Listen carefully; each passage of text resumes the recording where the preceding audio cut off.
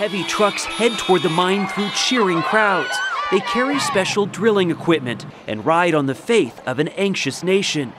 Two small shafts have already been drilled about half a mile straight down to where the miners are waiting. These channels act as a sort of umbilical cord so that rescuers can deliver capsules of medicine, food, water, and communications equipment. That provides a chance to hear from the men deep underground. The trapped miners applauded the rescuers above and even sang the national anthem. And in return, the Minister of Mines encouraged them. To reach the miners nearly 2,300 feet down, rescuers plan to use a larger drill to slowly bore down as much as 100 feet per day.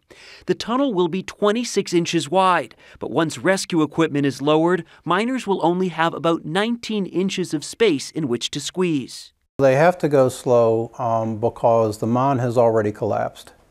And so not knowing the condition of the mine and the area where they're going to drill, they don't want to cause the mine to further collapse.